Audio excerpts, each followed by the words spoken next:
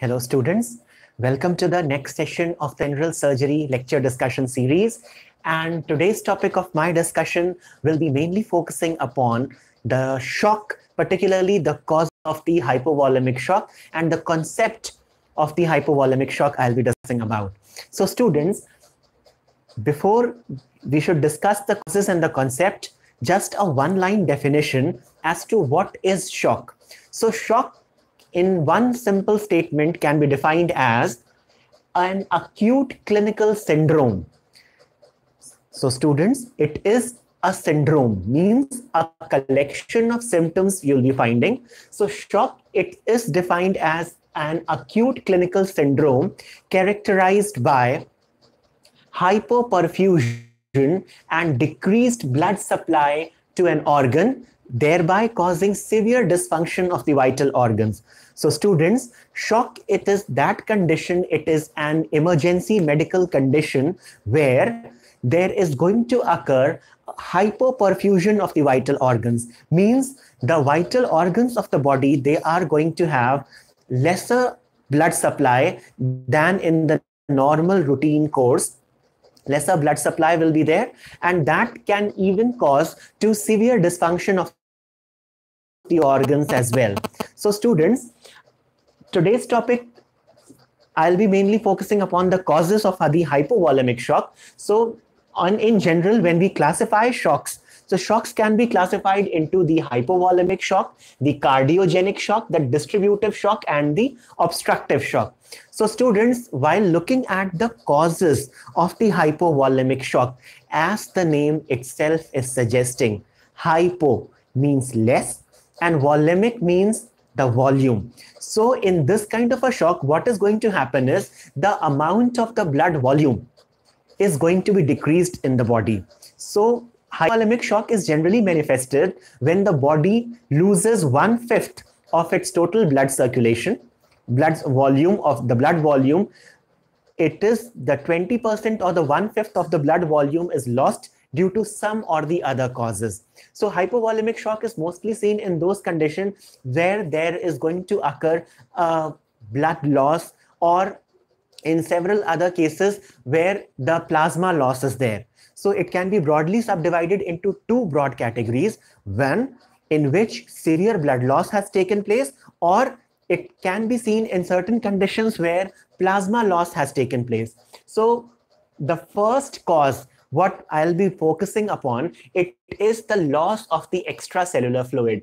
So what is going to happen is whenever there is going to be a deviation in the normal exchange pattern between the tissue fluid and the microvasculature of the capillaries, when an imbalance or a deviation is going to exist, there can occur a hypovolemic shock. So most of the places in the non-hemorrhagic causes for this hypovolemic shock, when we look upon in conditions where a person is undergoing through severe diarrhea, uncontrolled or prolonged or severe diarrhea if it is present, in if it is going to have in certain conditions when in a non-acclimatized individual or in a non-acclimatized host whose body's adaptability is not competent enough to cope up with the surroundings. So in, in conditions of these, in conditions where increased sweating is there in a non-acclimatized individual, again, a hypovolemic shock can be manifested.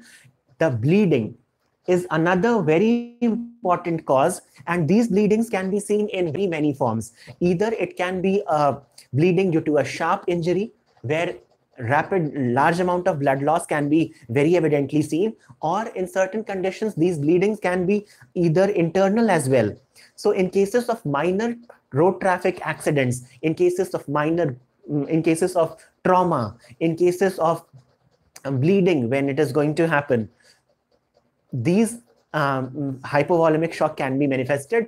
Or these uh, bleeding can also be seen within the internal organs as well. So the internal bleeding, what is mostly seen, uh, it is not easily uh, clinically visible and the patients may not uh, get very, the, we, the signs and symptoms of the internal bleeding cannot be very easily made make out.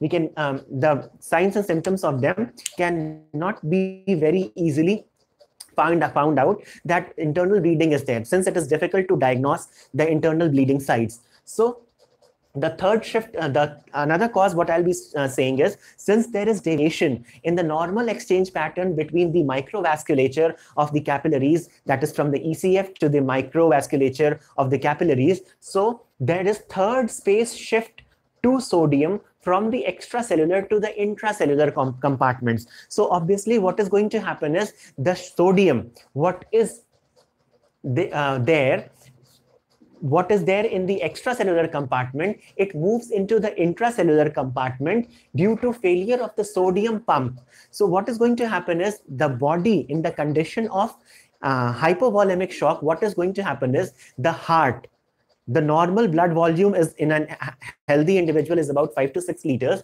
So when one, one fifth or 20% of the blood loss is there, the heart is unable to pump the normal routine blood the normal blood what the heart is pumping in a normal healthy individual the heart is unable to suffice the needs of the body to adequately supply the right amount of blood to the different different organs so when the organs are the vital organs of the body when they are lacking the proper blood supply or the proper blood what is needed for their normal functioning when the heart is unable to pump blood so those organs they are going to shut down and severe dysfunction can occur.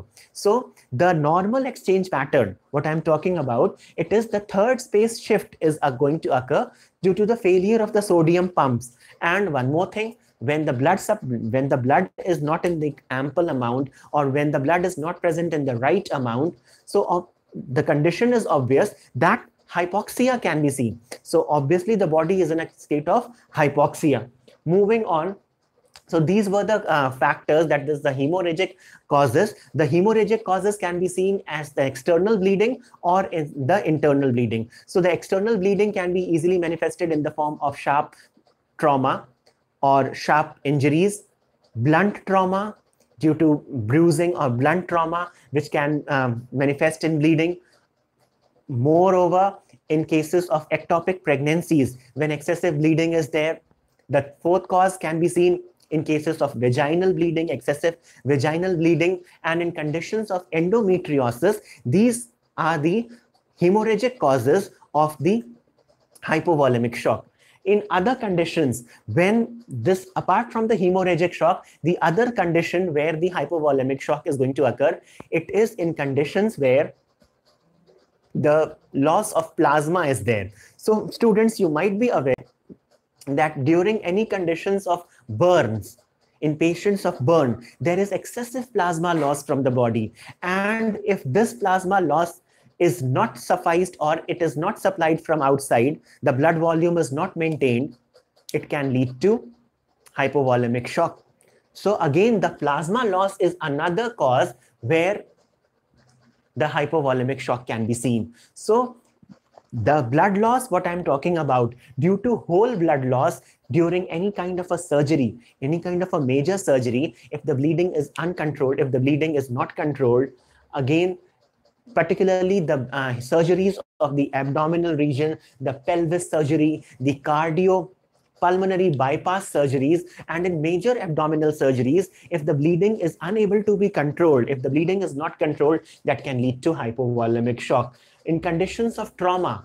So wherever there is kind of a trauma in a major accident or in warfare injuries, in conditions of homicidal or falling suicidal injury as by a blunt, uh, by a knife or a bullet, in such conditions, the bullet injuries or the stab injuries where the uh, outside wound is not that visible, but internally the bleeding is there. So these internal bleedings, if they are not controlled at the right time, it can lead to a very medical attention condition. Medically attention attentive attention condition can it can cause. So and the conditions where i have already said that is in the internal bleedings where the gastrointestinal bleeding is there in conditions of peptic ulcer in conditions from the perforation of the intestines bleeding from the oesophageal varices. The oesophageal varices which are mostly seen in the patients of the liver cirrhosis or in the alcoholic cirrhosis, the esophageal, esophageal varices in patients of the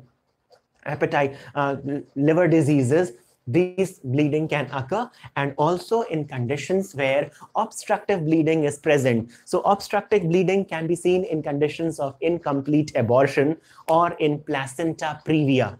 So students, this was a short discussion about the causes of shock. Other, I'll be talking of the symptoms. So mostly if it is a the blood loss or the plasma loss is to a minor amount, the patients may show symptoms of a lightheadedness, dizziness, confusion.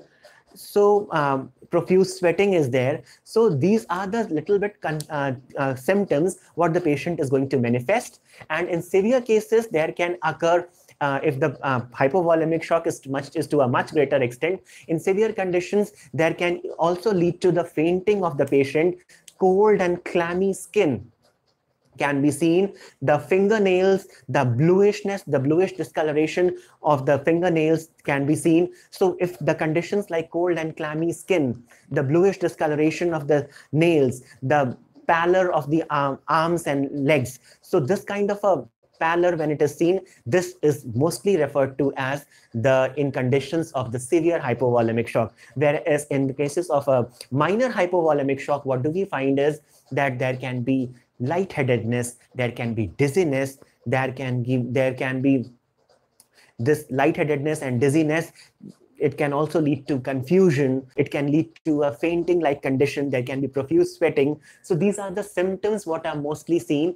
And such conditions of hypovolemic shock need immediate medical intervention and the blood volume needs to be restored. So students this was a short discussion about the one line definition for shock, the types and the causes of the hypovolemic shock. Students, if you do have any queries or comments, and if you do like this video, give this video a thumbs up. And if you have any queries or any topics what you want that I that should be discussed by me, you are most welcome to comment me in the comment section. Thank you for watching.